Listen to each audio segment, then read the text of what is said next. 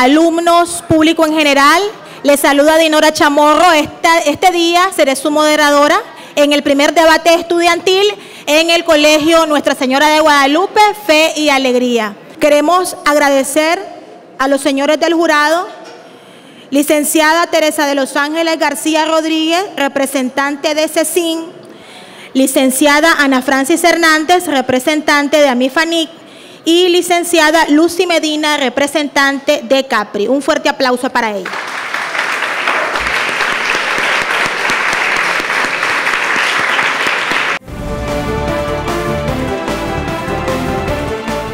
Agradecemos a los estudiantes de tercer año A y tercer año B del Colegio Nuestra Señora de Guadalupe, Fe y Alegría. Agradecemos a las organizaciones en Managua que están trabajando conjuntamente con el proyecto. Centro de Educación y Capacitación Integral, hermana Maura Clar, CECIN. Servicios Integrales para la Mujer. Asociación Quincho Barrilete.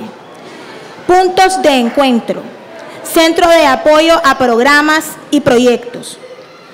AMIFANIC, Centro de Comunicación y Educación Popular.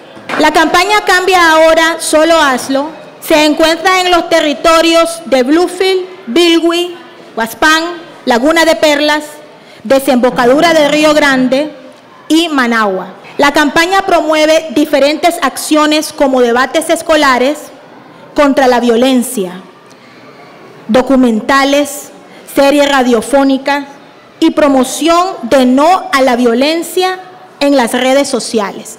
Temas muy importantes para que sea el del conocimiento de toda la población en general. A continuación daremos inicio al debate. Le pedimos a los participantes que pasen adelante. Gerson, Isabel, Anielka, Francisco, Tercer año B. Eliezer, bienvenido. Axel, Kenia.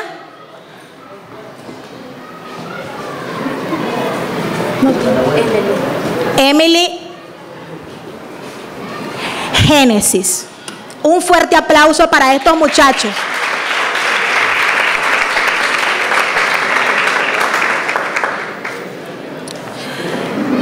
Llamaré a un integrante de cada equipo, vamos a hacerlo con una monedita, ¿verdad? Que es lo, popular acá en Nicaragua. Eh, van a escoger una cara de la moneda, ¿verdad? Y luego, no sé a quién eligen ellos, ¿qué pase, ¿ok? ¿Ustedes a quién eligen? ¿Qué pasa acá? Axel e Isabel. Ok.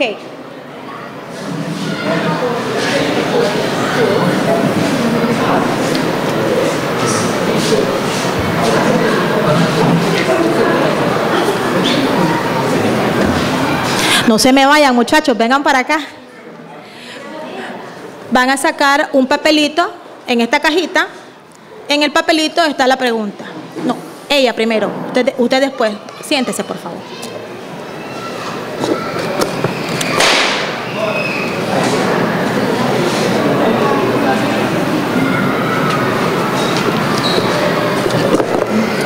La pregunta dice lo siguiente. Si una adolescente envía fotos en ropa interior o desnuda a un hombre y luego él publica en las redes sociales, ¿de quién es la responsabilidad?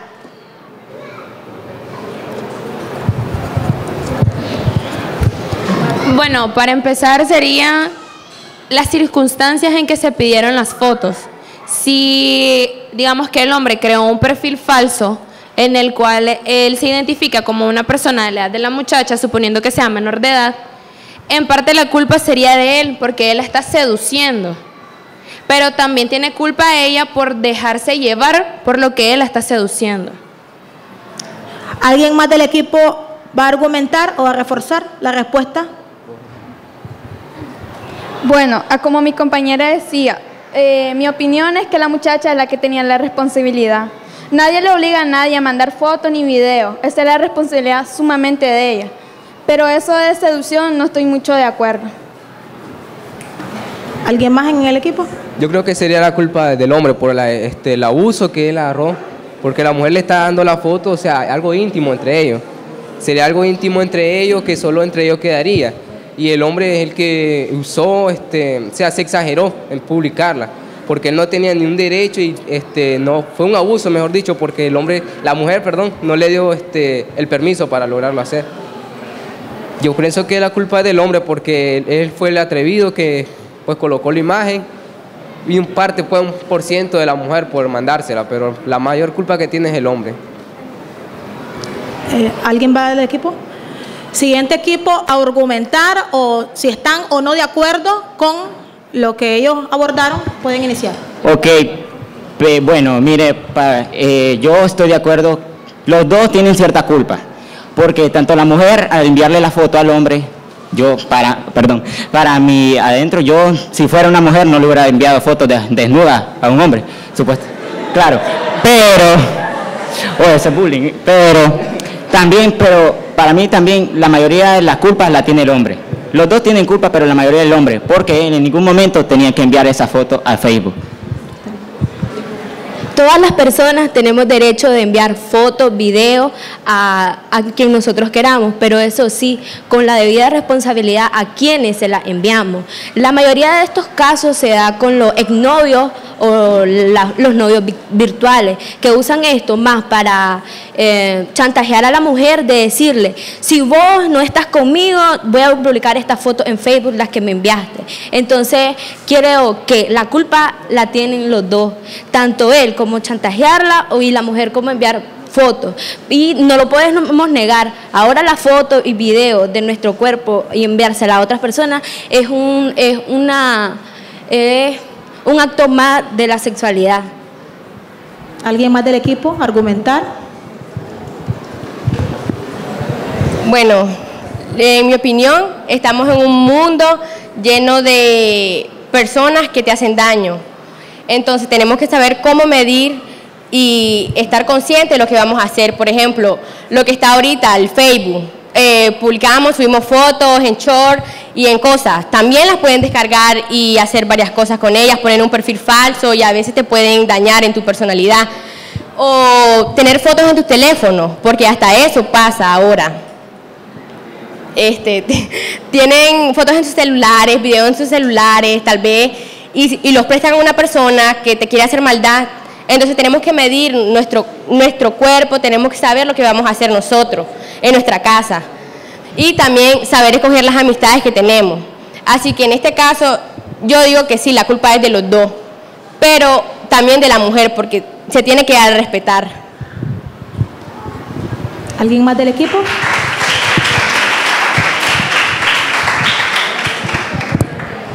Axel. Bueno, como decía mi compañera, compañera llamada Kenia, es cierto, ahora nosotros vivimos en un mundo lleno de tecnología. Entonces, eh, nosotros si guardamos fotos así, para mí no, no deberíamos tomarnos fotos así, tenemos que ser responsables y si la vamos a tomar no deberíamos ni subirla a Facebook porque un hacker puede ser que robe esa información y nos haga, como le diría, la, también la publique en Facebook dañando nuestra dignidad. Eso fue también lo que le pasó a la famosa autora Jennifer Lawrence, que un hacker le, le hackeó su cuenta y subió su- esa foto a páginas de internet y bajándole, ¿cómo se le diría?, Eh, su fama. ¿Alguien más del equipo? Ok. Vamos a pedir a Axel eh, del tercer año B que venga a sacar la siguiente preguntita.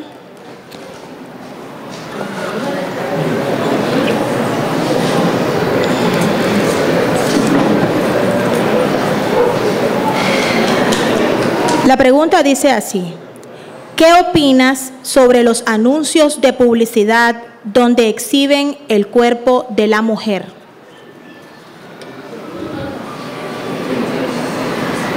Tercer año. B. Ahí lo que están vendiendo este, a lo, bueno, a los hombres es llamar la atención. Si vemos en los anuncios de publicidad en la calle, por ejemplo, una agua eh, y la mujer fresca ahí, y con agua y con una tanga y con un brasier. Entonces, ¿qué están haciendo ahí? Están haciendo publicidad. ¿De qué? Del producto. ¿Pero con qué? Con el cuerpo de la mujer. Entonces, eso incita al hombre que compre ese producto.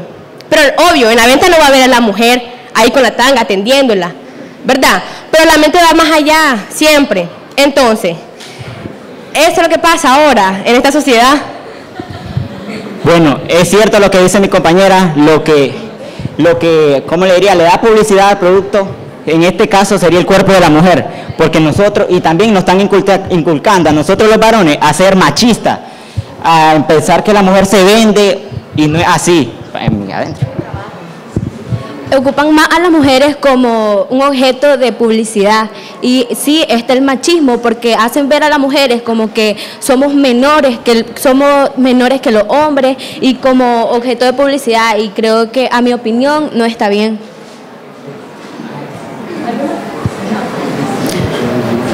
Tercer año A.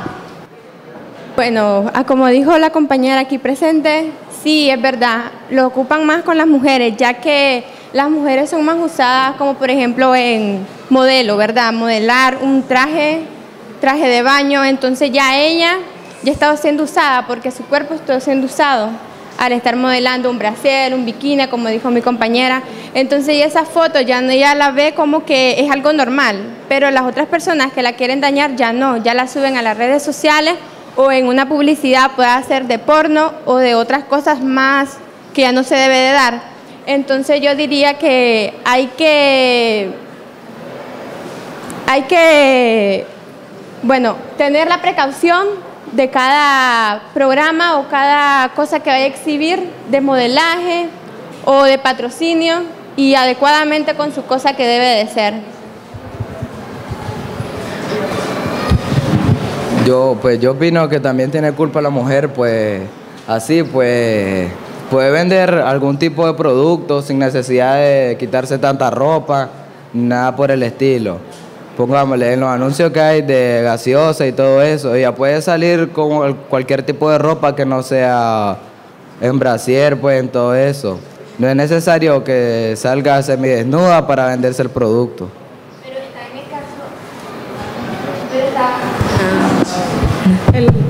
Pero está en el caso también del contrato, porque estamos viendo la economía de este país es como está, y si viene una mujer que está pasando por dificultades en su casa o en su hogar y tiene ese contrato de que vienen y le dice que l- va, va a ser un anuncio y tiene que y esas son van a ser las condiciones de ese contrato. Eh, entonces, aquí el que estaría viendo a la mujer como menos y no respetando sus derechos es el de la empresa que la va a estar contratando. Pero en ese sentido, las mujeres tienen derecho a hablar, todos tenemos derecho a la libre expresión. Entonces, ellas pueden decir, esta parte del contrato no me agrada, no me parece, me están exhibiendo como mujer. Si en un dado caso a mí me ofrecieran un contrato así, yo no lo aceptaría, porque están exhibiendo mi cuerpo. Es algo que no deberían de hacer. Toda persona que le ofrezcan un contrato en el cual eh, te digan, vas a salir semidesnuda, eh, ya sabes que algo público, si vos no querés, no lo vas a aceptar. Es la opinión de cada persona. Eh, vamos a pedir a un integrante del equipo A, tercer año A, que pase para sacar la tercera pregunta.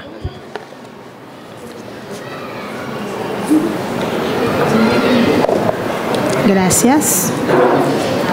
Vamos a leer la tercera pregunta.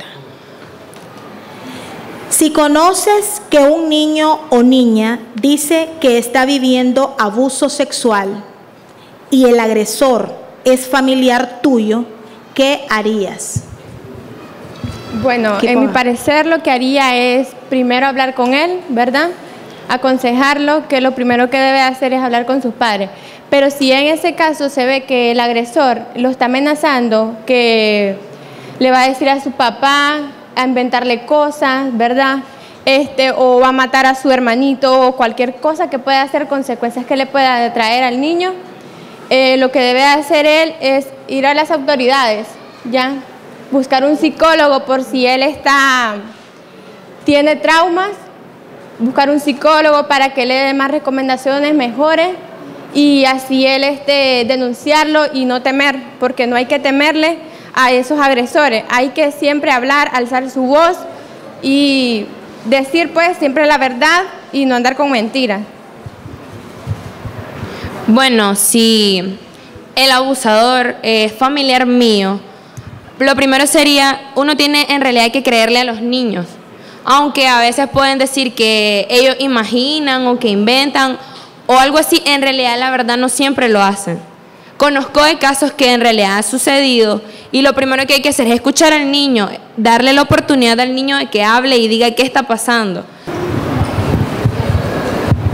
Bueno, en el caso de que si un familiar mío, me daría mucha tristeza al saber de que una persona a la cual yo por ejemplo, he que sido desde pequeña, le hacen maldad a un niño. Y creo que nada de hablar, que eso de hablar, nosotros tenemos, eh, sí, creerle al niño, pero tenemos la autoridad para ir a poner la denuncia a la comisaría y a la policía. Porque ¿qué va a hacer con hablar y concientizar con la familia? No, es un delito y aunque a vos te duela porque es parte de tu familia, el agresor, tenés que poner la denuncia, porque si no, va la que hace una, la hace dos, la hace tres y muchas más veces. No importa no importa si vos le hablás y les aconsejás, la denuncia es lo primero que se debe hacer. Pero como decís vos, hay que denunciar, pero eh, primero hay que... Eh, discúlpenme, primero terminan ellos y luego le doy la palabra, ¿ok?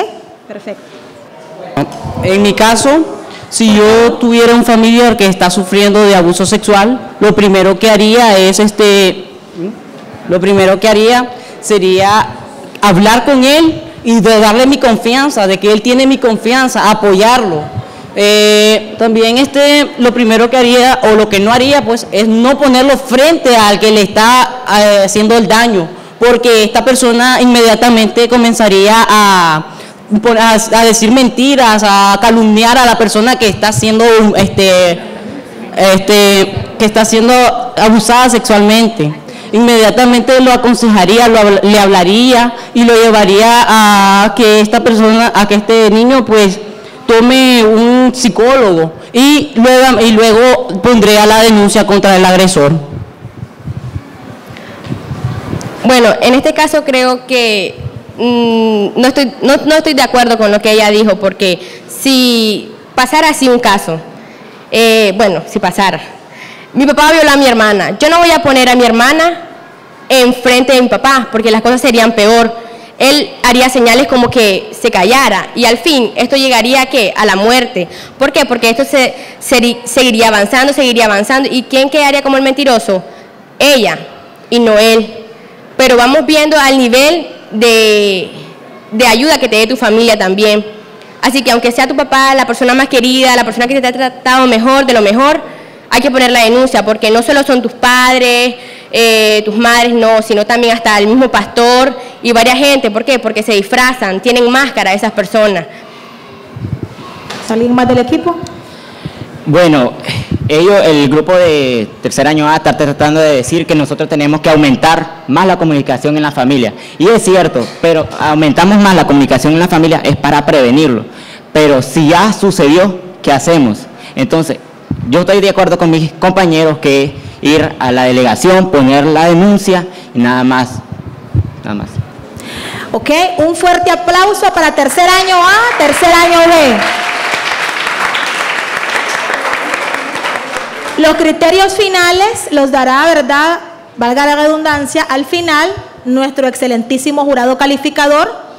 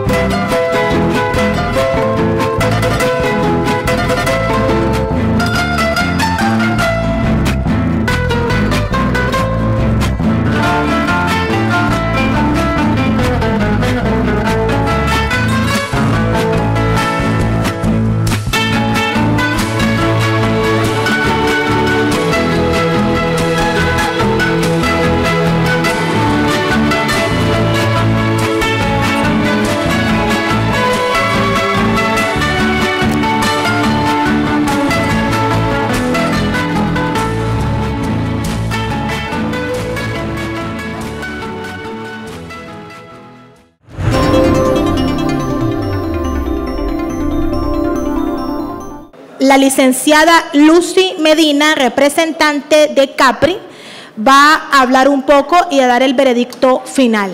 A nosotras realmente nos pareció un buen debate en todo el sentido de la palabra. Queremos felicitar a ambos equipos porque argumentaban y contraargumentaban y realmente estábamos como bien emocionadas, ¿verdad? Sin embargo, eh, queremos hacer algunas aclaraciones a algunas eh, dudas que surgían o algunos comentarios de ambos equipos, ¿verdad? Y vamos a ir de acuerdo un poco a las preguntas que tenían. Por ejemplo, eh, ahora que utilizamos muchísimo los jóvenes, pero también las personas adultas y los niños y las niñas, ¿verdad?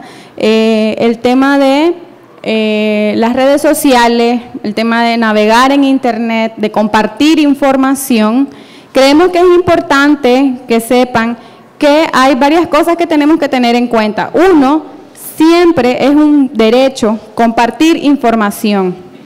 Dos, hay acuerdos que se hacen entre las personas de compartir información y el derecho a la privacidad es uno de los que se tiene que respetar y los que se establecen en esos acuerdos. Y eso no solo puede ocurrir hablando en temas de relaciones de noviazgo, puede ocurrir hablando en temas de relaciones de amistad. ¿Cómo me relaciono yo también con mis amigas, con mis amigos? ¿Cómo respeto yo la información que mis amigos me comparten? Y cómo estoy vulnerable también a que me puedan suceder algunas cosas que puedan dañar mi identidad. Entonces, eh, mi identidad digital, pero también que trasciendan a dañar mi vida cotidiana, ¿verdad? Entonces tenemos que tener eh, la pericia de buscar en estos tiempos en Internet cómo podemos proteger nuestra identidad digital para prevenir el tema de eh, lo que ahora le llaman la pornovenganza, que es lo que estaban hablando los muchachos, que sucede cuando vos compartís información íntima con una persona que es tu novio, tu novia, tu pareja, y luego esta persona las publica con fines de vengarse. Ya, pero esto es una expresión del machismo. Entonces, eso es lo que tenemos que tener claro. Queremos también eh, hacer mucho énfasis en que en sus preguntas en sus respuestas, perdón, estaban haciendo responsables de los actos a hombres y a mujeres, pero tenían un especial énfasis en culpabilizar constantemente a las mujeres. Y creo que eso es algo que nos ha enseñado mucho el patriarcado, ¿verdad? Que tenemos que estar culpabilizando a las mujeres. La mujer te dicen algo en la calle, entonces es por cómo iba vestida.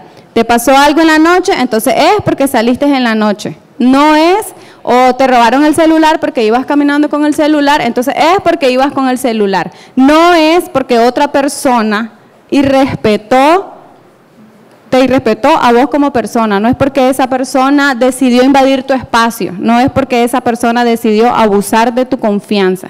No es nunca responsabilidad del agresor. Eso es lo que estamos escuchando aquí, muchachos, en los debates. Entonces, estamos viendo que están haciendo como mucho énfasis en culpabilizar a las mujeres de agresiones que otras personas decidieron cometer. Reafirmamos que ustedes tienen todos los derechos como adolescentes de denunciar. O sea, ustedes pueden tomar esa iniciativa, no necesitan aprobación de nadie. Si ya tienen esa información, entonces reafirmamos el hecho de que ustedes pueden tomar la iniciativa y si las personas les dicen, yo quiero denunciar, ustedes dicen, bueno, yo te acompaño porque tenemos ese derecho. Hay un equipo que tuvo un mejor desempeño y en este caso, eh, según los puntajes que nosotras tres hicimos, eh, el equipo ganador es el equipo B.